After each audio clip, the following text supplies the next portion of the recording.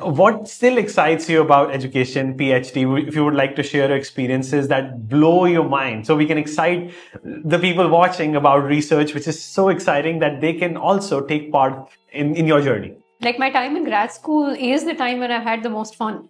Um, it is four or five years of you just figuring out what you're interested in, what you're not interested in, what your work ethic is like, um, how you like to operate, uh, just getting to know yourself better, a whole bunch of self discovery, um, making good friends that end up being lifelong friends. I think all of that happens in grad school in a way that um, doesn't happen in most other other phases of life. So I had a lot of fun in my PhD as well, and like the meta skill that I I think learned to quite an extent.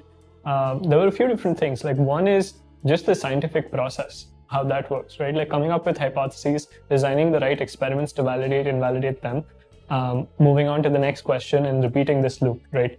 Um, I didn't have experience on that front um, before my PhD, and I got a chance to like explore this in many different domains as, as part of my PhD.